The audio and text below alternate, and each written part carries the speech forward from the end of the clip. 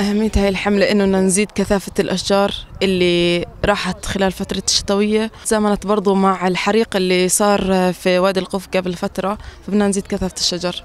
اليوم آه، مشارك معنا 150 شخص تقريبا وزرعنا لحد الآن 350 شجرة.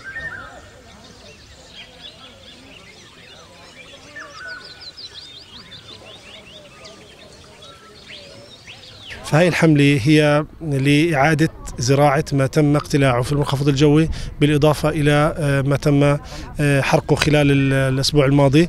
وما يميز هذه الحملة هي الشراكة ما بين آه، هي محافظة الخليل وزارة الزراعة الطلاب جامعة ال- الخليل كلية الزراعة وبالإضافة إلى الحكم المحلي والمجالس البلدية الموجودة في المحافظة.